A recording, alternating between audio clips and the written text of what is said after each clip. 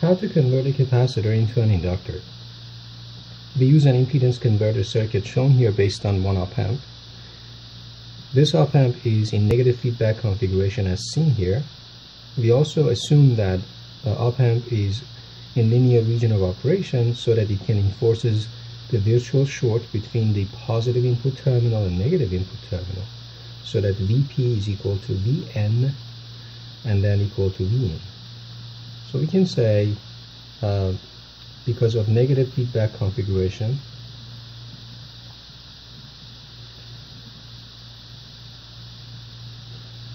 and because we are assuming op amp in linear region so from these two we can say uh, virtual short holds. So Vp is equal to Vn and Vn is equal to Vin. So that's relationship 1 because of virtual short.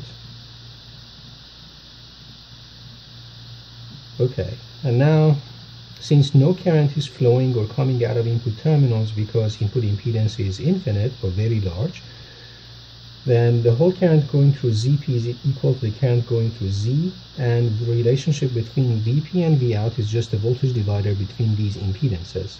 So we can just say Vp is just Z divided by Z plus Zp times Vout. Or we can say Vout is Z plus Zp divided by Z times Vp. Okay, that's number two.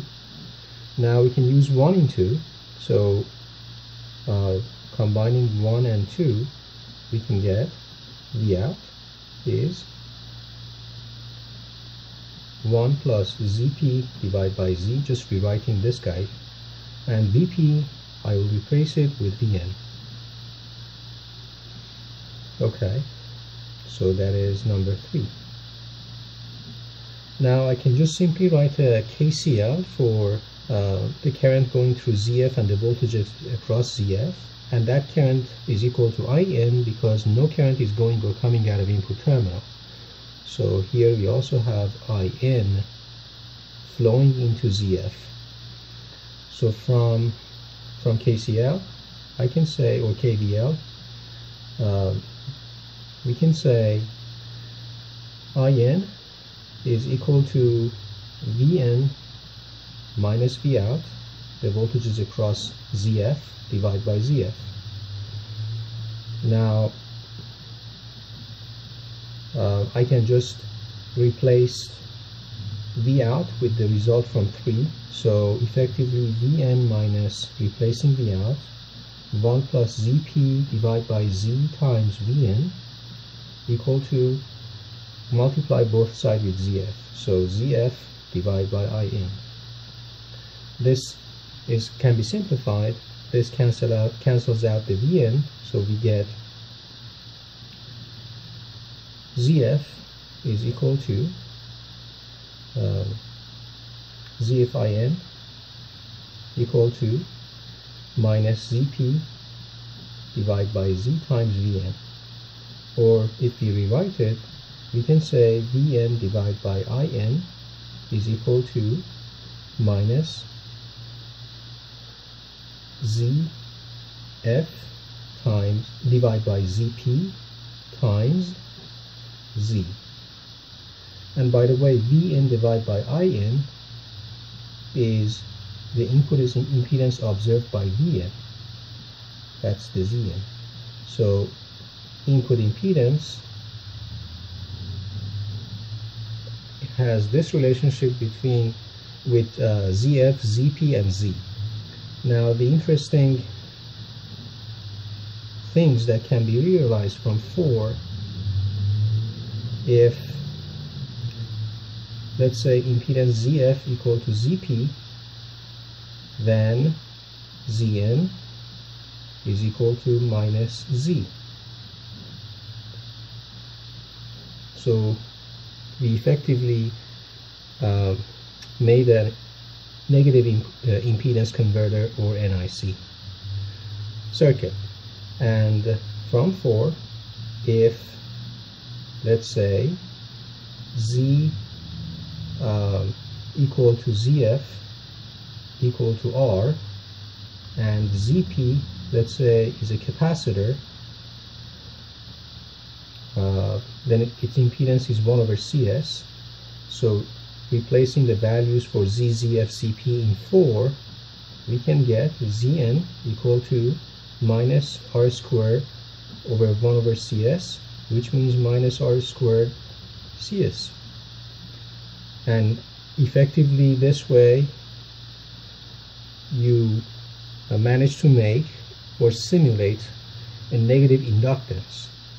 So this is a negative inductor um, just a caveat that all of these uh, is depending on the fact that these two things are correct. So we have to properly uh, connect the supply voltages of uh, the op amp and also the negative terminal of the op amp uh, the ground terminal of the op amp need to be connected to ground and also we are assuming that this circuit is always in linear region of operation op amp is not saturated um, in order to get the positive inductance effect or simulate a positive inductor instead of negative just imagine the relationship between Zn and Z if ZF is equal to ZP. So we are just saying if these two are equal to each other, then Zn would be minus Z. So I can just uh, put another of this circuit instead of Z in this format. So this is our first circuit, which uh, we said we're going to put a resistor instead of ZF as R. And this is our op amp I'm just finding these values I'm just applying them and we said ZF is, is also uh, ZP is 1 over CS so we put a capacitor here right and instead of Z I'm gonna put another one here so I'm gonna put a one with a resistor R and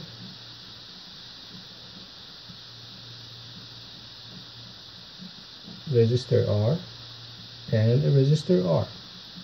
So we know what's going to happen is since in this in this one since in this one these two are equal to each other as if like this one then the impedance observed from this point is minus R. Now we know the impedance observed from this point from this one is uh, related to uh, z like the one shown here. So we can just say from this guy that